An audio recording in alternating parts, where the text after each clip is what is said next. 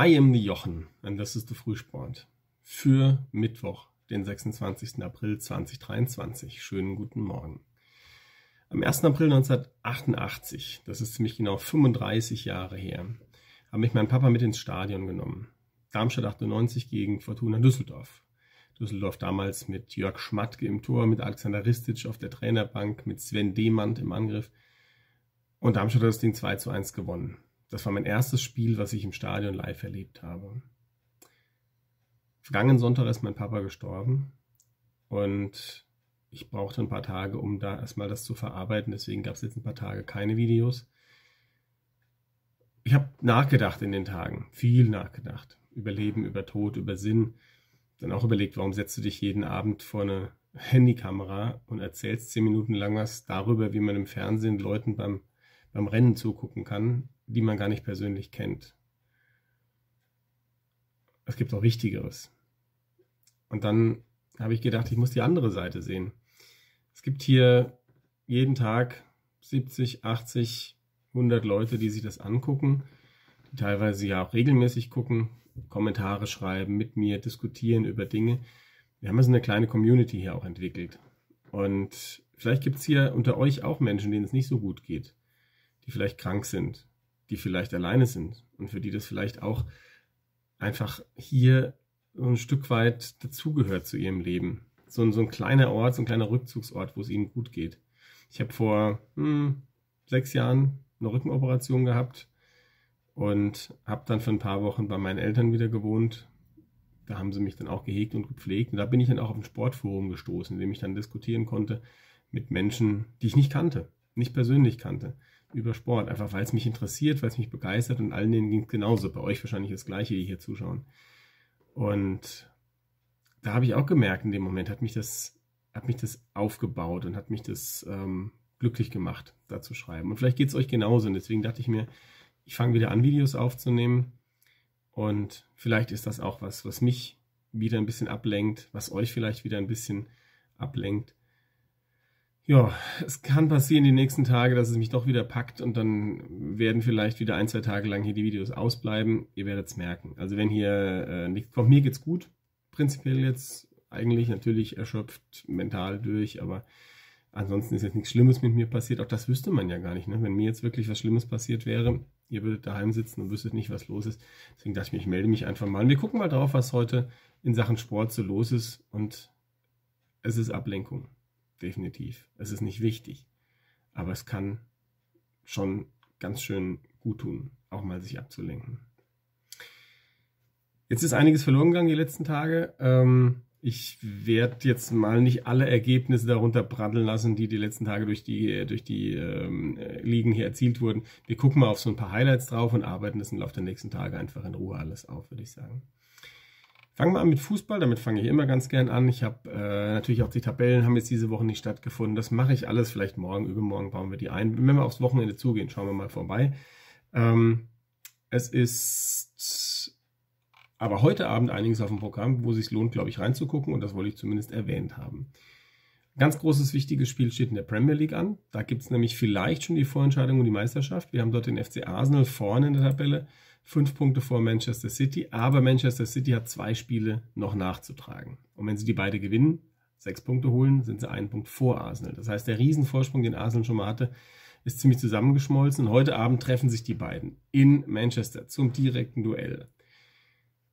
Und wenn City das gewinnt, sehe ich keine Chance mehr für Arsenal, die noch einzufangen. Wenn Arsenal allerdings gewinnt, und die haben seit vielen, vielen Jahren nicht mehr gewonnen bei Manchester City, es wäre mal wieder an der Zeit, dann ist die Meisterschaft wieder in eigener Hand für Arsenal, weil dann hat man wieder acht Punkte Vorsprung. City kann maximal sechs davon aufholen mit seinen Nachholspielen.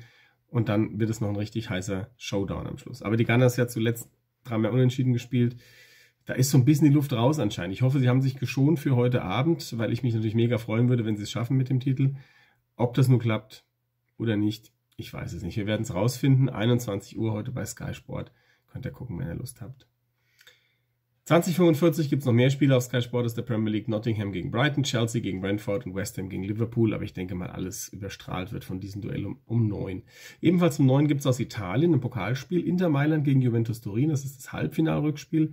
Und da werden wir vielleicht oder ziemlich sicher schon den großen Favoriten fürs Finale ermitteln. Denn wer immer das gewinnt, er ist dann der Favorit im Finale. Inter oder Juve, es steht 1 zu 1 nach dem Hinspiel, also alles drin. Es muss ein Sieger gefunden werden und sei es mit Verlängerung und Elfmeterschießen.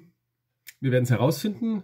Äh, 21 Uhr auf The Zone können wir live dabei sein und das gucken, wenn wir wollen. Und dann gibt es noch Spanien mit der Liga. Das ist jetzt nicht so dramatisch, würde ich sagen, am Abend um 10 Uhr Barcelona, bei Rayo Vallecano beispielsweise, um 19.30 Uhr Atletico gegen Mallorca, wer das gucken möchte. Gestern bereits Real Madrid verloren in Girona mit 2 zu 4. Das sollten wir auch erwähnen. Und ja, was da heute bei rumkommt, finden wir raus, wenn wir wollen. Können wir gucken, alles auf The Zone. Aber also ich glaube, Coppa Italia und die Premier League, das sind heute die deutlich interessanteren Partien. Schauen wir mal rüber zum Eishockey. Da sind die deutschen Meister gefunden worden. Da gratulieren wir dem äh, EHC Red Bull München zur Meisterschaft. Am Ende im Finale gab es einen Sieg gegen EHC Ingolstadt. 3 zu 1 die Serie gewonnen. Und 4 zu 1 die Serie gewonnen, sorry und damit den Titel sich gesichert für die Münchner. Glückwunsch dazu. Und die zweite Liga ist auch entschieden seit gestern Abend. Ravensburg Tower Stars werden dort Meister mit einem 4 zu 1 gegen Bad Nauheim. Allerdings haben die Ravensburger, das hatte ich ja schon mehrfach hier erwähnt, auf ihr Aufstiegsrecht verzichtet. Damit bleiben ja die Augsburger in der Bundesliga, in der DEL drinnen. Das ist jetzt also auch geklärt. Und damit können wir die deutsche Eishockeysaison endgültig ad acta legen. In den USA wird weitergespielt. Da laufen die Playoffs in der NHL. Wir gucken mal kurz drauf, wie es steht in den einzelnen äh, Duellen. Ähm, es steht relativ oft unentschieden. Es sind überall jetzt vier Spiele absolviert. Es steht ganz oft 2 zu 2. Vorentscheidungen sind gefallen mit 3 zu 1 für Boston gegen Florida. Äh, Toronto führt 3 zu 1 gegen Tampa Bay. Lightning, da hatte Basti noch gesagt im Spezialvideo, dass wir Tampa Bay gewinnen. Das sieht gerade nicht so danach aus. Carolina liegt vorne gegen die New York Islanders 3 zu 1 und die Vegas Golden Knights führen 3-1 gegen Winnipeg. Die anderen Serien hat Basti jeweils so getippt, wie sie jetzt gerade 3-1 stehen. Und was übrig bleibt, steht alles unentschieden 2 2. New Jersey gegen die Rangers 2-2, Colorado gegen Seattle 2-2, Dallas, Minnesota 2-2 und Edmund gegen die Kings aus LA 2 2.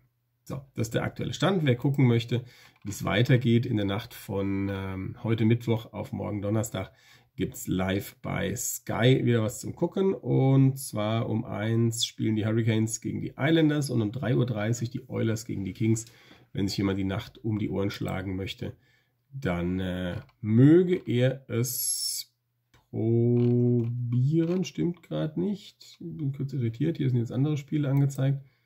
Nö, das ach, ich bin am falschen Tag. Das war das von Dienstag auf Mittwoch. Ähm, Mittwoch auf äh, Donnerstag müssen wir gucken. Ich bin ja beim Mittwoch, ich bin ein bisschen raus, sorry.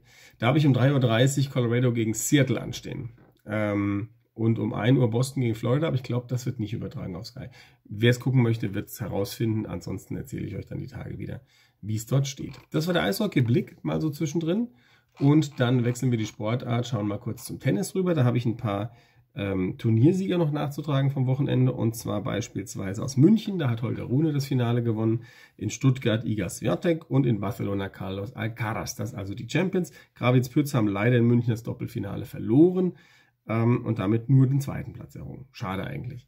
Heute geht's los mit dem großen Turnier von Madrid, ATP und WTA. ATP natürlich auf Sky Tennis zu sehen, ab 11 Uhr den ganzen Tag. Unter anderem heute dort auf dem Platz Yannick Hanfmann, der wird am Nachmittag so gegen 14, 15 Uhr antreten. Und Spanien gibt's auch, ähm, Madrid wollte ich sagen, nicht Spanien, Madrid gibt's auch auf äh, Tennis Channel, das Damenturnier mit Tatjana Maria heute beispielsweise auf dem Platz ja, viel geschlafen habe ich nicht in den letzten Tagen. Das habt ihr vielleicht in den letzten Videos auch schon gemerkt. Da war ich auch schon relativ müde drauf. Das hat sich nicht geändert. Das hat auch ein bisschen Kräfte gekostet alles.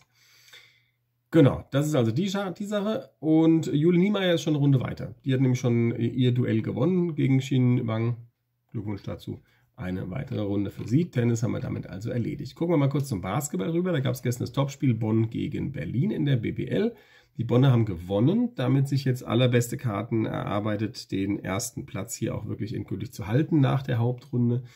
Ansonsten, wie es da steht, wie die Playoffs gebildet werden, das machen wir in aller Ruhe dann nochmal irgendwann im Laufe der Tage. Ähm, heute Abend gibt es ein paar Spiele auf Magenta zu sehen. Um 19 Uhr Bayern gegen Rostock und Bayreuth Heidelberg und dann um 20.30 Uhr Ludwigsburg gegen den mitteldeutschen BC aus Weißenfels. NBA Playoffs laufen auch. Auch da gucken wir mal kurz auf die aktuellen Stände. Die äh, Philadelphia Sixers als einziges Team schon im jetzigen Stand bereits durch. Aber 3 zu 1 Führungen gibt es für Miami Heat gegen die Milwaukee Bucks. Dicke Überraschung. Die werden das noch nicht durchziehen. Die New York Knicks führen gegen Cleveland.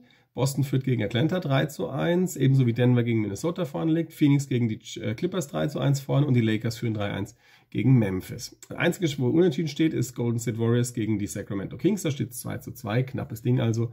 Da muss man sagen, die meisten Serien auch stehen jetzt so, wie Len es getippt hat äh, im Spezialvideo, aber Milwaukee und Cleveland, da hat er anders getippt, ist ja aber noch nicht entschieden. Also noch hat er bisher nichts falsch gemacht, der Gute. Ähm, und wir werden mal gucken, wie es da weitergeht. Auch da kann man heute Nacht gucken von Mittwoch auf Donnerstag. Und zwar gibt es bei The Zone die Lakers gegen die Grizzlies. Richtig, das Ganze um 1.30 Uhr in der Nacht von Mittwoch auf Donnerstag. Wenn ihr Basketball gucken möchtet, seid ihr herzlich willkommen. So, Radsportfreunde werden diese Woche äh, sich erfreuen können an der Tour de Romandie. Letztes Wochenende gab es noch den Lüttich-Bastogne-Lüttich-Klassiker. Der ging an äh, Remco Evenepoel, der hat gewonnen, Tadej Pogacar gestürzt unterwegs. Äh, aber wohl nichts ganz so Schlimmes, hoffe ich zumindest mal.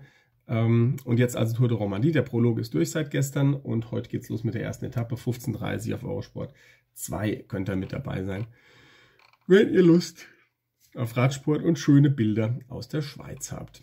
So, dann schaue ich noch kurz zum Volleyball rüber. Da steht Friedrichshafen im Finale der Bundesliga der Männer, hat gewonnen gegen Lüneburg 3-1 und das Finale damit wie immer Friedrichshafen gegen Berlin es wird ein bisschen langweilig. Die Frauenliga ist ja deutlich spannender. Auch hier laufen die Halbfinalserien. Dresden führt gegen Stuttgart, nee, Stuttgart führt gegen Dresden mit 1 zu 0.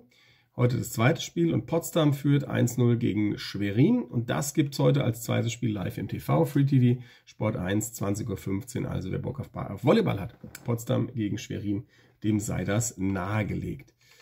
So, auf den ersten Blick müsste das jetzt mal so das Gröbste gewesen sein. Ich habe, wie gesagt, bestimmt einiges vergessen zwischendrin, aber das ist jetzt gar nicht so wichtig. Ähm, Formel E gab es noch im Berliner Wochenende mit dem Sieg von Nick Cassidy im zweiten Rennen.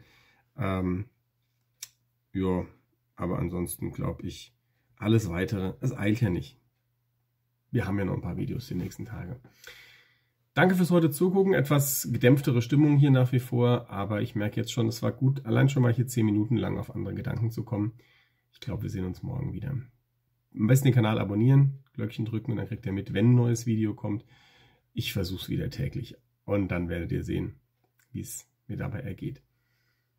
Danke fürs Zuschauen heute. Danke fürs immer wieder Zuschauen. Danke fürs Kanal abonnieren und Kommentare dalassen, weil das ist ja für mich auch immer schön, diese Rückmeldung zu bekommen, dass da draußen jemand sitzt, der sich das anguckt, anhört äh, und der eben auch mitdiskutiert und kommentiert. Ich habe in den letzten Tagen auch nicht alle Kommentare beantworten können.